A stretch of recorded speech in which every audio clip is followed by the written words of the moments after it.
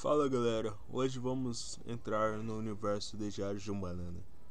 É discutir uma teoria polêmica. Será que Greg Heffley é o, o protagonista da série e do, é o verdadeiro vilão?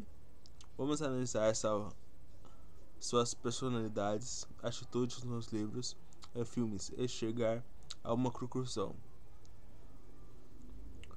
Para quem não conhece o Diário de um Banana, é uma série de livros escritos por Jeffrey Carney. Também ganhou adaptações para o cinema.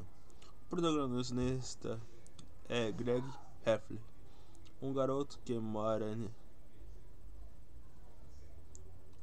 é, narra sua vida com, muitos, com muito humor, mas também com uma boa dose de egoísmo e atitudes questionáveis.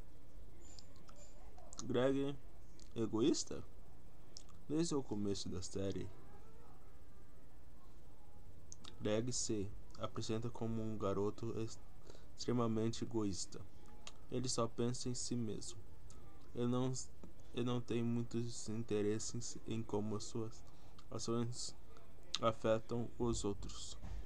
Exemplo: dos livros, filmes em que Greg passa por cima dos sentimentos dos amigos ou familiares para se beneficiarem, como o tratamento do Holly, sua amizade mais próxima. Outra característica marcante de Greg é a sua habilidade de manipular as pessoas ao seu redor. Ele usa e abusa dos sentimentos de quem está perto, especialmente Holly, que muitas vezes serve como um capacho para os planos de Greg.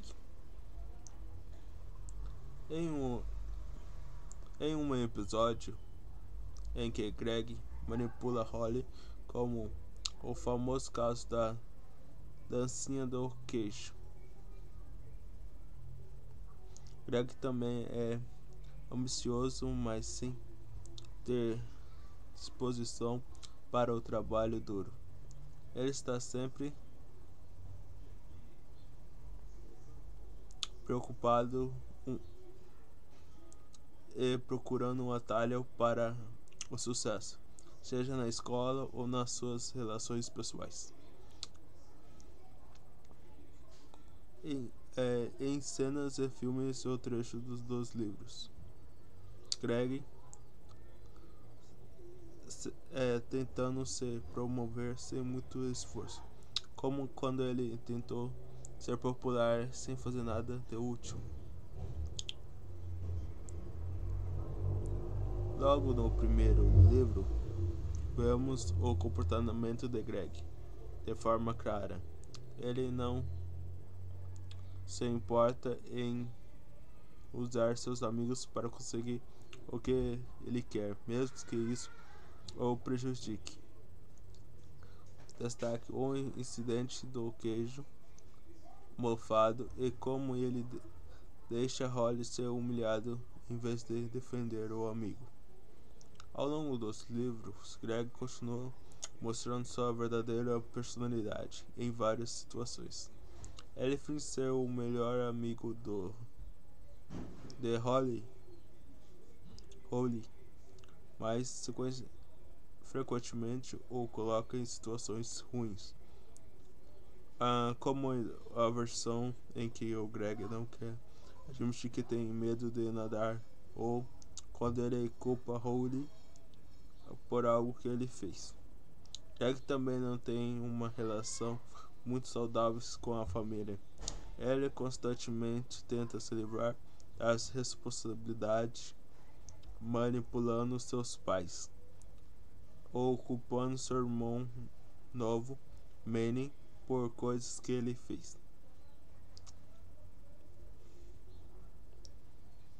Em exemplos de sua relação com o irmão mais velho, Roderick, e como ele tenta constantemente manipular os pais a seu favor. Nos filmes vemos uma adaptação muito fiel ao Greg dos livros, mas com alguma diferença em seu comportamento. Ele ainda é o mesmo Greg egoísta e manipulador. Mas o filme tem a suavizar um pouco suas ações.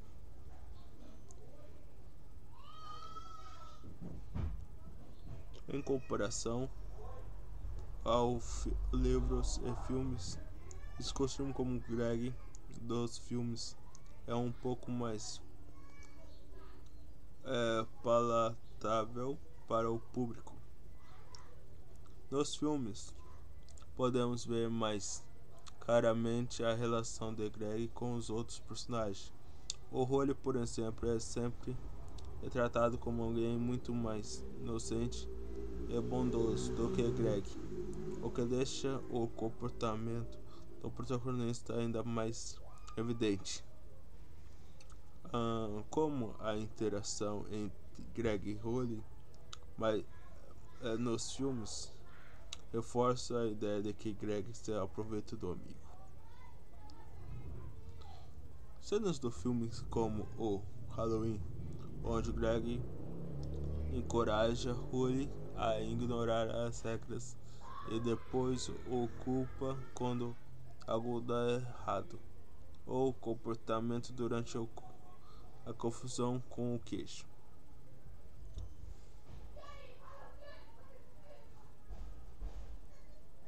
Agora, a grande questão, Greg Heffley, ao vilão da sua própria história, será que o seu egoísmo, sua manipulação e a falta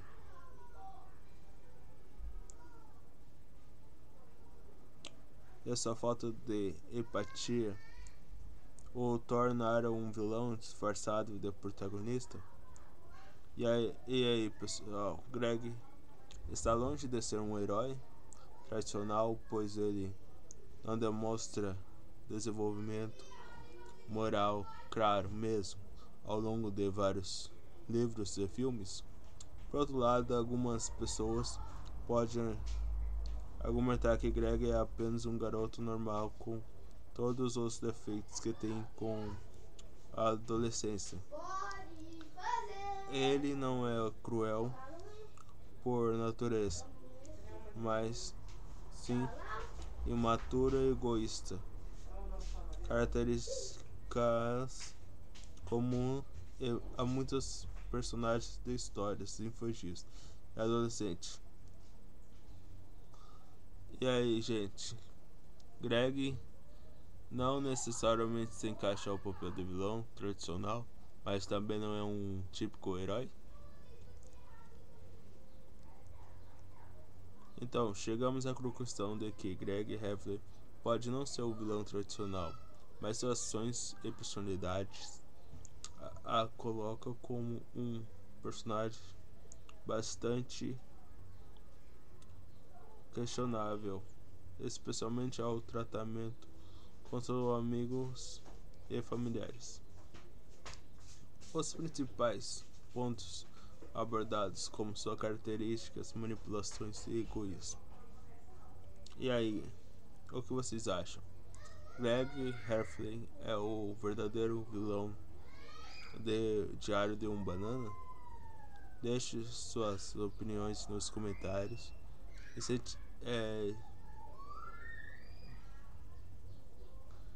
é, comente nos comentários, é, dá like qual que é a sua opinião sobre eh, Greg Heffer é o verdadeiro vilão da franquia? Uh, uh, curte o vídeo se inscreva no canal, comente o próximo vídeo que vocês querem assistir. Eu sou o Isaac tchau.